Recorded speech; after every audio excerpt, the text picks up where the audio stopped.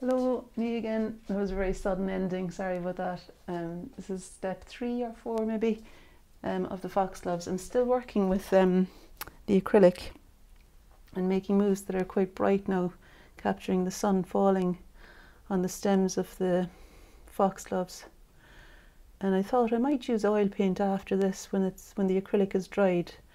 I had the idea that I might use some oil paint in order to capture um, the dark background, the piano behind these lovely bright um, foxglove stems and flowers and they're completely bathed in, in afternoon sunlight here.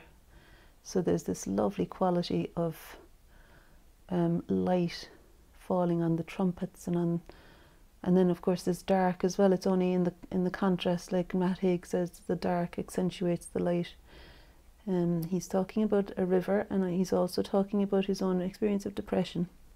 Sorry, here we go again.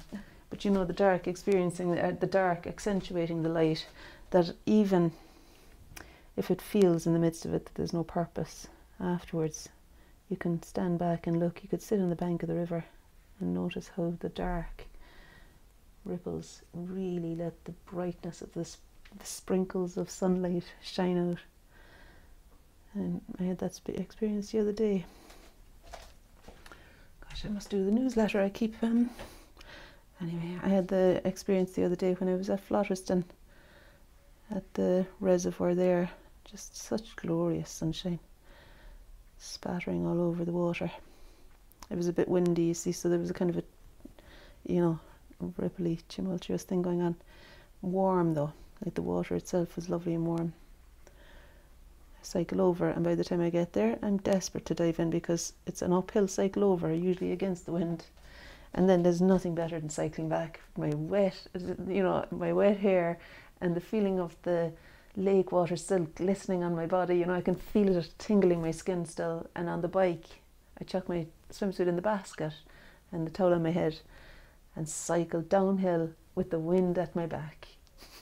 And that's a very different experience from the cycle over but it's uh, it's the memory of that happening that makes me cycle over in the first place. You know, the memory of the after, um, the evidence of the aftermath, and on the way over too. It's it's kind of good to. It's a bit like the dark accentuating the light again, isn't it? Good to have to kind of pound the pedals a bit. And maybe it makes it all the more pleasant when I do get in the water then. But I think it definitely does because I need to cool down like. There's a crowd swimming there yesterday, and they've um, invited me along. I've got a Facebook group, but they were going way down East Lothian today. I nearly went. It was half ten. I was supposed to be there though, and I would have been a lot later. And I still quite like the whole ritual of going off on my own for a swim. And I don't go out of my depth or anything like that, but there's something really nice to feel like it's my time to shed it all, you know. Not not like I want to shed everything, but you know, my time to shed the stuff I want to shed. now that's actually see I've moved. I think that leaf should be up there. I don't like the way the two of them are so close together down at the bottom there. Those two they replicate each other's each other too much. So I'm going to just wash away the more recent one, which I think is the one that's less accurate as well and just wipe that off. I've got rags and Tito's and things to wipe away. Yeah, it's good to stand back as well because you never know what you're doing that might be unnecessary. Okay, and when I stood back there, I thought it might be helpful to use a stencil for the leaves, some for some leaves. I think anything that gives a different mark adds to the adds to the thing. You know, a variety, a bit of variety in the surface, and also it's kind of helpful when you don't really know how a mark was made. And I think the stencil sometimes has that effect of of creating a very different quality of, of mark that leaves you wondering how was that put on and that's good, I think.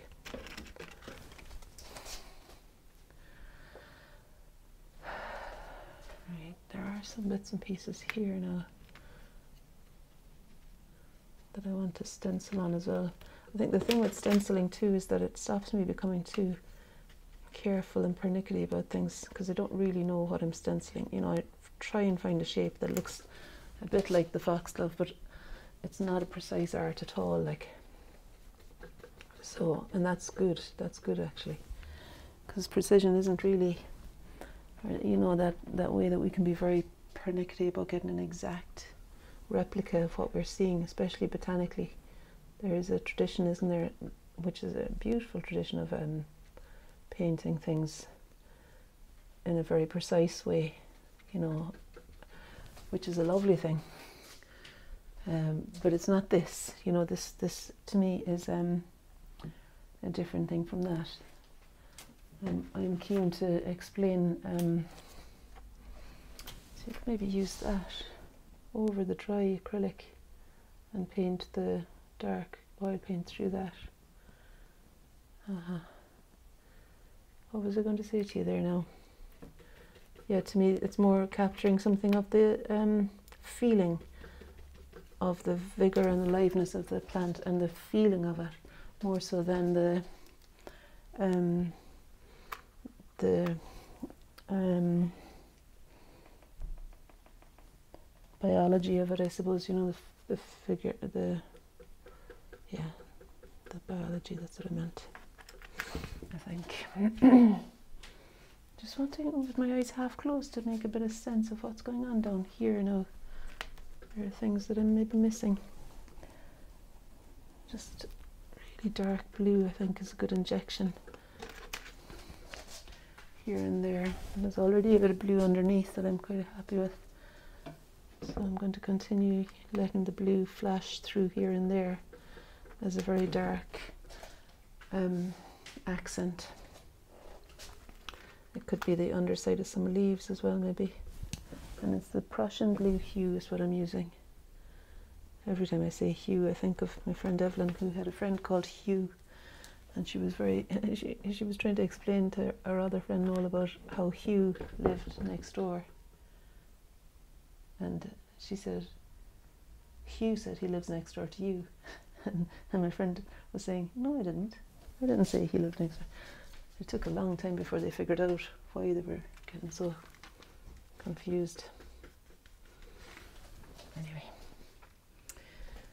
so it's a Prussian blue hue, this colour, and it's a nice, satisfying dark blue at least as far as I can see, every time I stand back, the light from behind the window is causing me to question my tones because it's so very bright back there.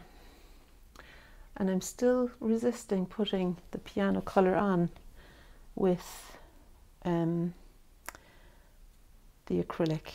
Yeah, I think I'm gonna, there'll be places down here where the piano colour is as light as that. And the leaves will be darker. And then there's other places where the piano is really quite dark and the leaves will be lighter. So I love that. It's a nice thing to have that kind of juxtaposing of light and dark in the background and needing to, to figure it all out as you go which edge needs to be the darker one and so um, it's a nice dance that's created that way you know something fascinating happens and satisfying. I think there's this, this satisfaction. I think maybe we as human beings too respond well to variety and surprise. You know, to be surprised by the darks and lights and the dance of them. Now, as I talk about darks and lights, I notice there's quite a lot of light there that I haven't found yet. On that beautiful, so this is the the mostly yellow sap green and white is what I'm using here for this really bright um, flowery edge on the right hand side there. I'm glad that Lily didn't come back. We were trying to get her, I thought, will I get her to come back from school so she can be here for the phone call from the doctor? But then she just told me all about her hand, her finger on the phone, and because she wants to go to the rehearsals for the concert, which are on this afternoon. Wasn't it lucky that I didn't get her to come home? Because look, we haven't had the phone call yet from the doctor, and she, she would have been just sitting there on her phone or something. Um, she's a lot, a lot better off in school, and I'll just um, when the doctor does phone, I can tell her the particulars, and I suspect they'll send her for an X-ray. I hope that it doesn't need to get set again or some awful thing like that. Poor child. We'll see. I'm not. I'm actually, as my old business coach used to say, don't energize that thought. so that's consider it not energized or de-energized. She's a really healthy, um, strong individual as Lily. So I've trust, trust that it'll work out fine. Whatever it is needs to happen for her. Now up there, there's more of this grey. Where is it? That colour.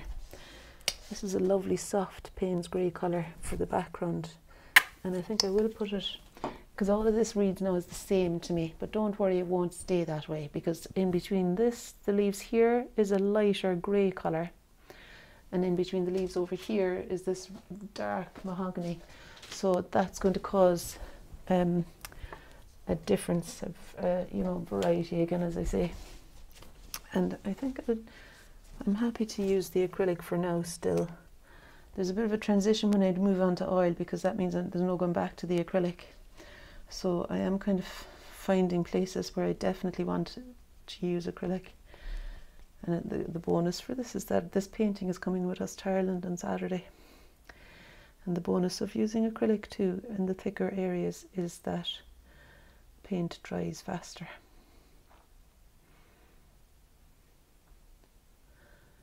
Now, kind of trying to find the shape of the spaces between. I don't know if I got a good colour. It's dark underneath that leaf there. It's not an awful lot of places where the grey is lighter, really. I think it is lighter on the other side of that foxglove at the top. See, this is one of the things I was talking about now. Do you see how the grey background is lighter than this side of the foxglove? but the foxglove on this side is brighter than the grey background and it creates that feeling of, of form and depth I think when that's observed with uh, care. Might do some over there too. It's more got more white in it.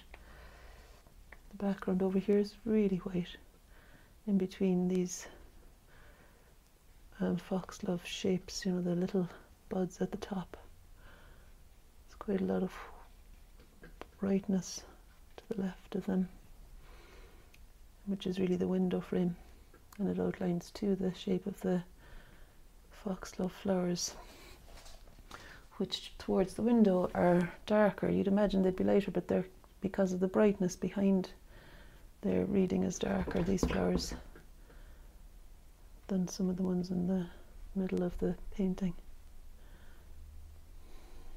Especially the left side. So I'm kind of happy enough that I've got a, light colour that, that will read as significantly brighter than the stem on the left side there.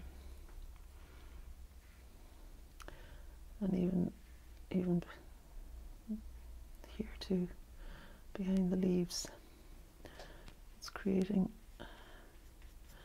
contrast. I think it's okay. I'm kind of having to keep the faith a little bit here because I'm a little bit unsure of the territory, but I'm getting there. Oh, that's already dry. That must have been oil, was it? No, I think it was acrylic. That should have been added longer than I expected. Okay, so I'm going to use the darker grey now straight from the tube to shorten those because they read as being too long to me. Mm -hmm.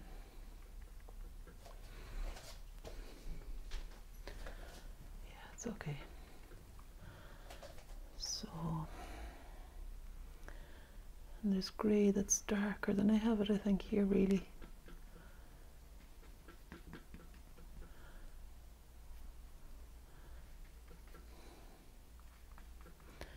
This is the old exactitude is not truth thing as well from Matisse, you know, that it was he who said exactitude is not truth. And um, that keeps me going when I'm at this stage because I feel like you know I could become very pernickety and decide oh that's not exactly where that leaf is or but but if I can just get a feeling of the character of the the bounce the bounce of leaves against the curtain behind, um, then I'm all right. You know. That's I think the tax. Taxing. That's the. That's what I'm be, I'm being tasked. Yeah, to do. More than find the particular location of every single one. Some lovely brightness behind that leaf again there now. And it's extending more out the way towards the window today.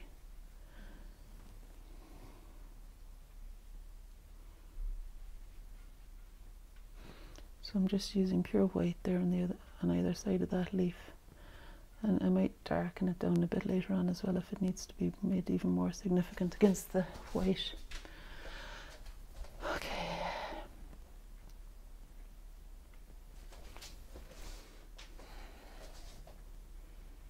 getting there.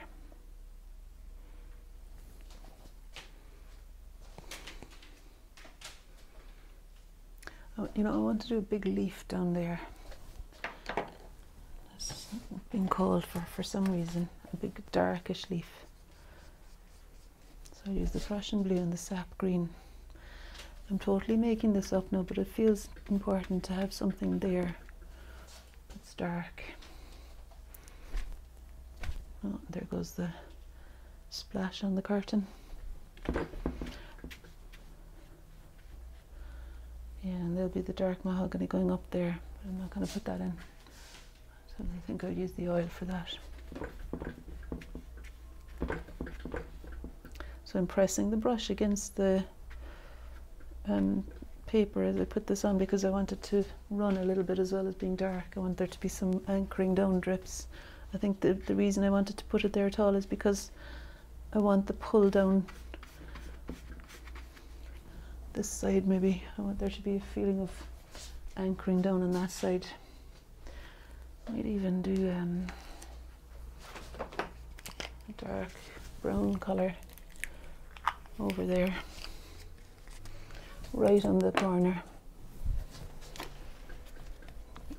Just want it to be dark there. Yeah, like not leaf color, but just dark.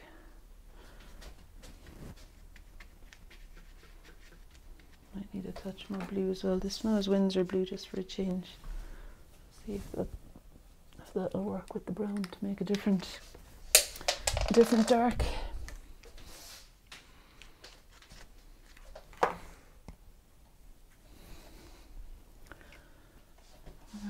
put some of that there actually. kind of finding the way across from the dark down here up to here. Seem to be doing the piano with the acrylic as well now. I think I'll get away with that.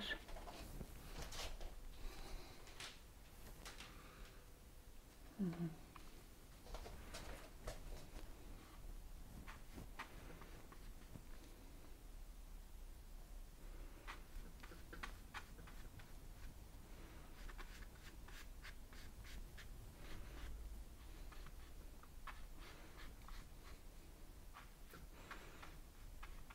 my mum actually commissioned me to do this painting, so I'm going to dedicate this video to her.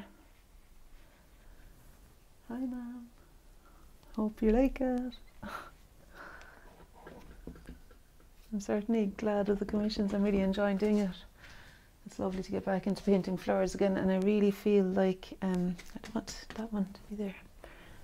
The bright one is a bit off-putting there somehow um, I really feel like I want to, what I want actually, what I would love is a big bright open space where there's people milling about creative sorts, you know, poets and musicians and there might be music, live music. I actually was at a cafe in Edinburgh where I feel like this could be a potential for uh, there's a space upstairs, I think, and I wondered about asking about it. But you know, you know the way sometimes you can set your sights on one thing and it's not one thing there might be other answers for this now, but what I would love is a big, bright, open space that, that isn't isolated from people really, but it's not also got anyone. I think just just so that there's, there's a bit of a bit like around at home, you know how the girls are hanging about and Lily's burping and you know uh, they're playing music and dancing about the place and they're making dinner and there's stuff going on. There's something about the hive of activity and having um. But I think I think especially if it was a space that was that was a dedicated creative space, I would like also to have gatherings of people who love um, expressing through word and music and dance and movement of all kinds and you know all of that. And I feel like I, it, uh, that would be a really um, I think it could be a hive of creativity. It doesn't feel like I want it to be in closed studios next to each other. Some big space where there's a runway and you can fling the paint on and play and um, and I think flowers make me feel like that. It's a friv- friv- frivolous frivolosity, uh, some sort of frivolous kind of a thing that expansive. Um, I mean, look at that. Like you know how there's this kind of feeling of cheekers.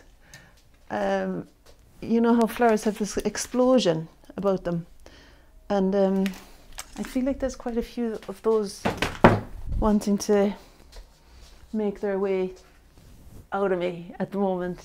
I think I don't know. Like it could be that I start, I do one and that's it, and maybe I'll go off in a different direction. And I do love painting people and everything as well. But for the first time, or for the for this is this feels like something new that I'm stating clearly, is that I would love a space like that, and um, and how, however it manifests itself, it's got that kind of feeling of of uh, bountiful, creative, abundant kind of fizzing in the air, like that that feeling. A residency somewhere, possibly. I don't know. You know the way now. But anyway, answers on a postcard if any of you know. And also, I need to be home every day, you know, to cook the dinner. So we'll see. There's room for manoeuvre, isn't there, in all these things? It's exciting, really feels exciting. So I'm putting on more of this brown now to um, set apart the leaves from the background on this side. I don't know if, this, if it's exactly what I'm wanting. It's maybe not as dark as it should be. I'd say when I put on the oil paint in the same colour later, it will have the richness and the dark that I'm after. I need to maybe check now if I've got time for a swim or not. I thought I could take the phone with me on the bike, and it's you know to be unlucky enough if she phoned while I was in the water. But even then, I would only be in for a couple of minutes. So, if it's not past half two, I could still aim for a swim. It's quarter past two. Yeah, so I could go for a swim at. If I leave here at half two, I'd be back at half three then because it's it's a such a glorious day and it's such an amazing place. You know, Glad, uh, Glencorse Reservoir. It's really close now to here. Gladhouse is a, a, a drive. Glencorse is only it's only a short cycle away, and it's glorious. Just gonna. Don't know, am I taming this down too much, or what's the story? Might not be a bad time to stop, but it really and let it dry enough that I can decide when I come back then whether to put the oil paint in between the flowers or acrylic or something else entirely. You'd never know. Um, and I was thinking too, wasn't I, about putting that stencil. See, the stencil's got a, a stem, and I thought I could cover the brightness of the stem with the stencil and then you know what, I'm going to do that right now. Because the stem looks a little bit cumbersome to me. It looks too, too big. And bitty somehow. But I need to, I hope it'll stay there, yeah. I need to give some more brown paint out. This is Van Dyke Brown and it's the Winsor blue I'm using with the Van Dyke Brown, but ultramarine blue would do the trick just fine. Um, I just wanted to make something that would be quite dark to show off the bright of the stem. Hopefully I've not covered the stem entirely, nearly, but it's, I think it's the contrast I'm after all right though. I want it to be that dark either side of the stem.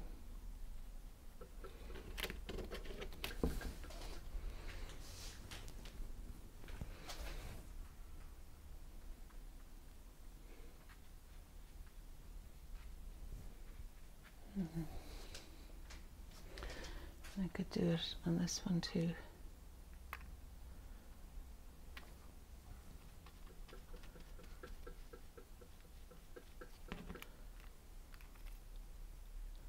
Some quirky angles to these stems, so I'm needing to take them off and change direction every so often.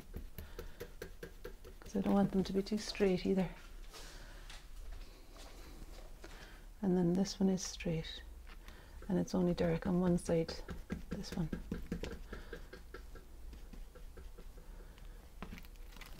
It's only dark on the side that's um,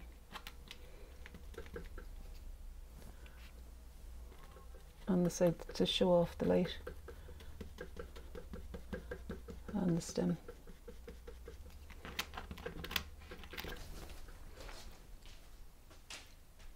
Yeah, got a, got a bit messy there.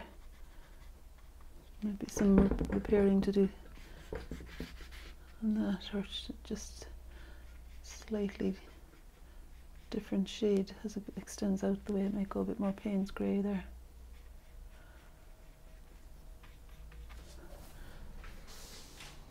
Okay. It's always quite helpful to look at the picture on the screen and see how it reads. on the smaller scale. I'm just going to put some Payne's Grey out now on its own and use that to make the next dark bits.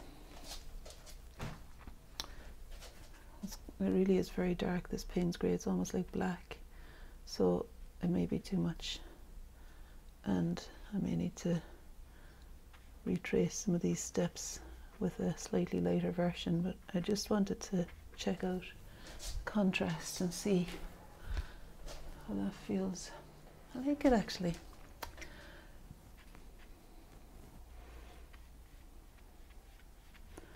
And it will probably get lighter in places, but I like some of the dark, especially where it's highlighting that brightness.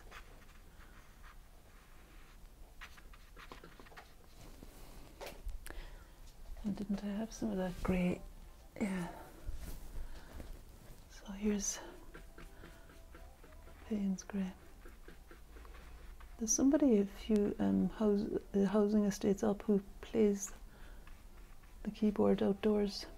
Sounds a bit like fairground music. I don't know if you can hear it. It's just started there now in the summertime.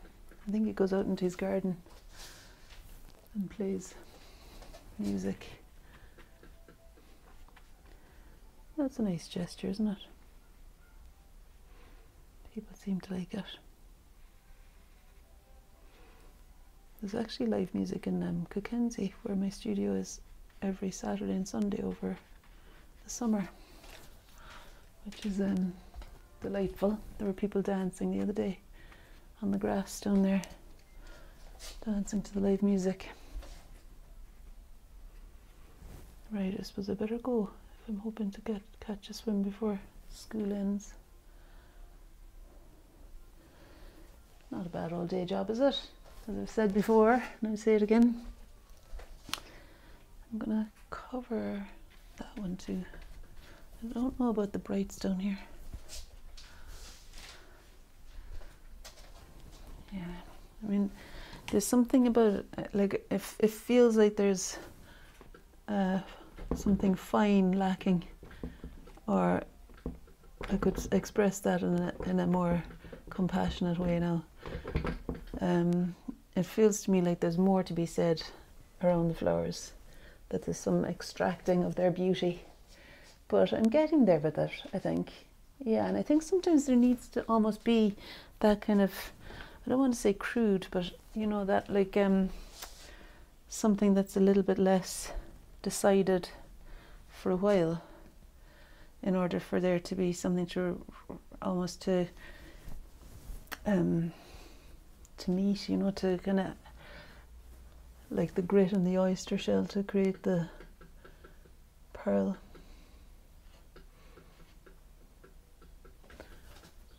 Resistance, some sort of rules, restrictions, you know, and the kind of feeling of chaos here is a little bit of that, I think It's causing me to have to consider even just noticing, okay, so this there needs to be some finesse here now.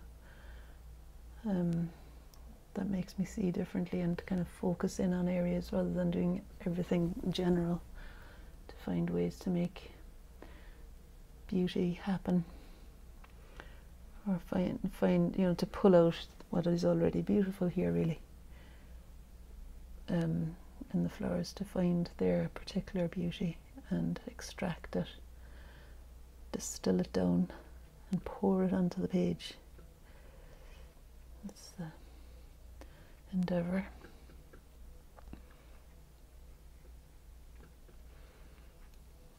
I'm going quite pleased with that. Extract it, distill it down, and pour it onto the page.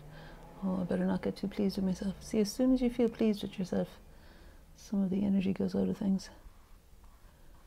Uh, you know, if you let that be your driver, it's quite nice to feel the satisfaction of a job well done sometimes, isn't it? But also, I think it's good not to stop halfway through and say, Aren't I great? Because you can start to enjoy that praise a little bit too much sometimes I reckon. And it's a hollow one that's not. It's kind of self-congratulatory in a way that honouring yourself isn't. I don't know if that's right honouring the creative spirit within all of us you know? It's a different thing from the well done well done me so I suppose it's just uh, actually the words might be the same, but the voice, where it comes from, is a different, a diff different kind of a source to it. So I'll tell you now, I would, I would have, um, I put great stock in kind of cheerleading yourself on, like encouraging yourself, and it's all right, that'll do. Don't worry at all. There's a certain tone there that feels different from, geez, you're great altogether, aren't you? Look at what you did there, isn't that brilliant? I don't know. Uh, maybe that's all right too. It depends on the outcome. If it if it causes you to stop and admire it so much that you're afraid to lose it, that is where it becomes a bit of a stumbling block for you then.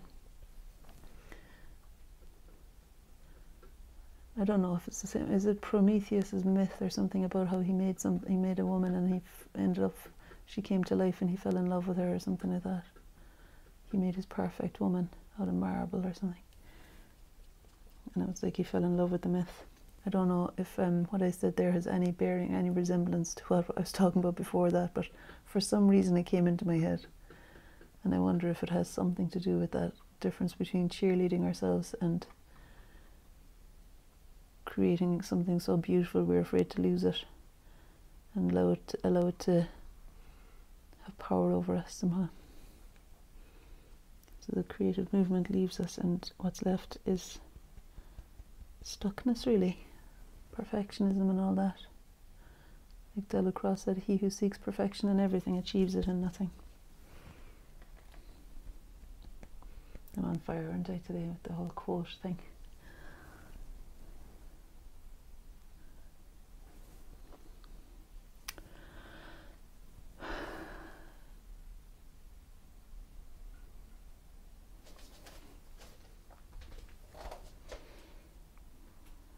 the funny thing being here in this world, isn't it?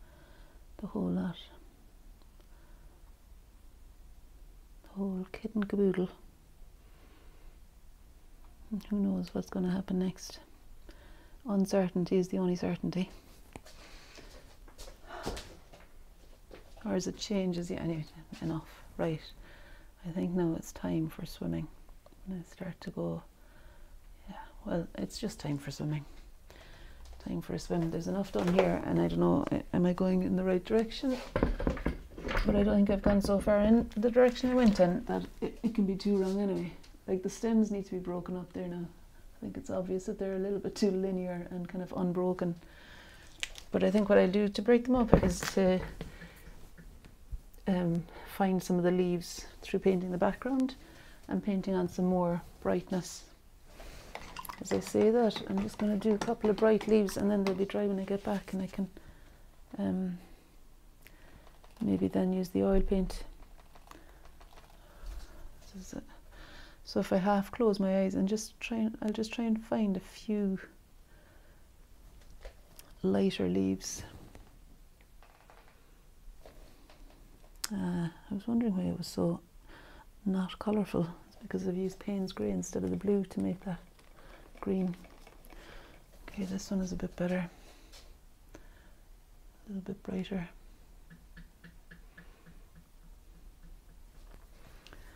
Just put a touch more light on. I mean, they don't have to be that colourful. I just want to create a few more shapes that could be outlined as leaves with the darker background when I get back. Leaves and stems and just generally things interrupting the vertical sweep of the stems that are already here. So stems that go horizontally and leaves that move through the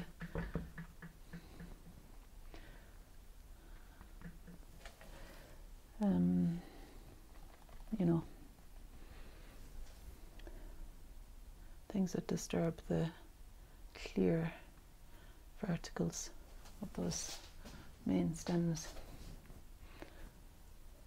Don't even have to be that precise with it, do I? I don't think, anyway.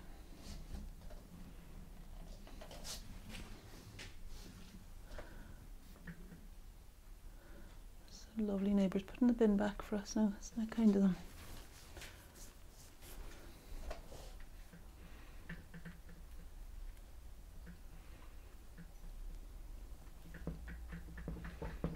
probably a few of green there too. Okay, right, have to, I'm off for my swim. Thank you for joining me.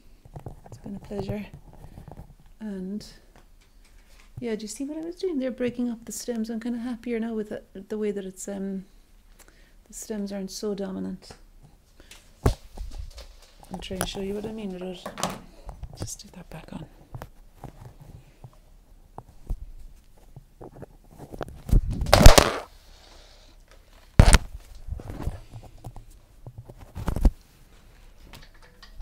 Oh, here's the doctor, I bet you.